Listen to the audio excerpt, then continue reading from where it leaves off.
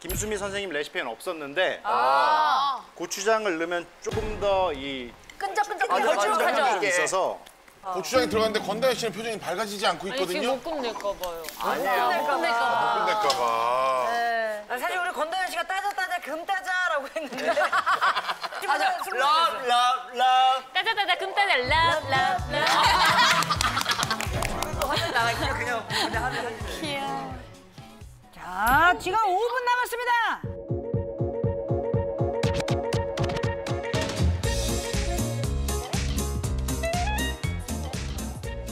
자, 이제 전분 투한가요?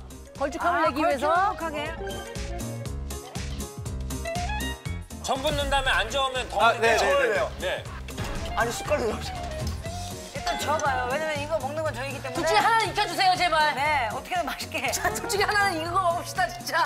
50대 50입니다. 아, 50대 50. 아, 50대 50이다. 아니야, 다 될 거예요. 아, 될 거예요. 걱정하지 마세요. 파이팅! 됩니다.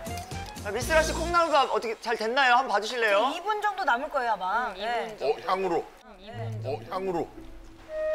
아직 덜 익은 것 같아요. 어. 이게 뭔가 되면 냄새가 이렇게 올라오는데 냄새가 올라와요, 이거. 네. 불 좀 세게 해야 되지 않아요?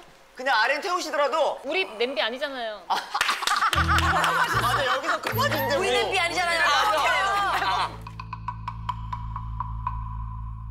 한 2, 3분 남겨놓고 담아야 되지 않을까요? 네, 지금 냄비 3분 천 남았거든요, 3분. 지금 우리 김종학 씨는 지금 비로소 여유가 지금 다시 그러니까요. 들어오고 있어요. 야, 초반에 굉장히. 좀 긴장하시더니. 야, 비주얼!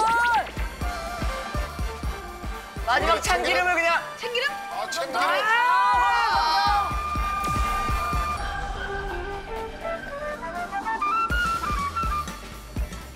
지금 이제 간장으로 간 하시면서. 이제 좀 뭐가 올라오기 시작하는데요. 네. 미스라 씨, 고기 하나만 드셔봐 주시겠어요, 익었나? 제가요? 아, 왜 그러세요? 제가 왜 그런 걸 먹어야 하죠?